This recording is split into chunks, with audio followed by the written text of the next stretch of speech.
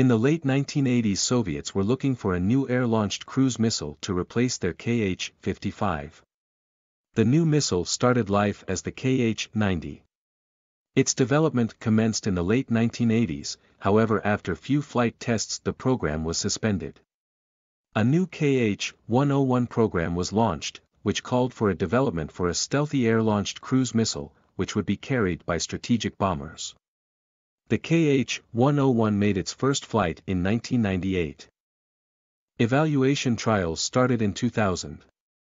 First pictures of this missile appeared in 2007. This missile was adopted and is currently used by the Russian Air Force. It was used during the Russian military actions in Syria, the KH-101 is a long-range standoff weapon. It is carried and launched by bomber aircraft.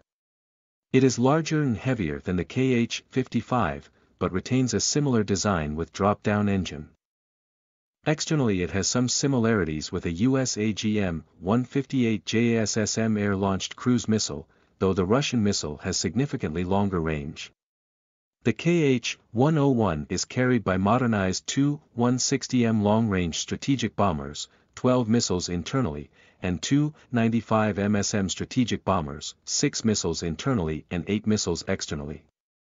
As far as the KH-101 missiles are longer than the KH-55, these could not be loaded in internal bomb bay of the two 95 MS. The KH-101 is armed with conventional warhead and has a range of 3,000 kilometers, depending on the version the missile weighs 2 200 to 2 400 kilograms and carries a 400 to 450 kilograms warhead. Most likely that some types of warheads are available, including high explosive, penetration high explosive, and submunitions warhead.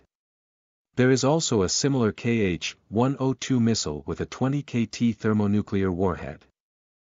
This cruise missile is equipped with an electro-optical system for correcting the flight trajectory and with a TV guidance system for terminal guidance. The KH-101 is estimated to be accurate within 10 to 20 meter CEP. Some sources report that this missile has a CEP of just 5 meters. Such accuracy is sufficient to hit infrastructure targets.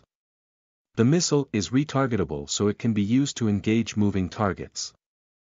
It has a variable flight profile and travels at altitudes ranging from 30 to 10,000 meters, during flight the engine drops below the missile.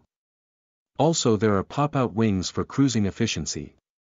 This missile has reduced radar cross-section and is more stealthier than the KH-55.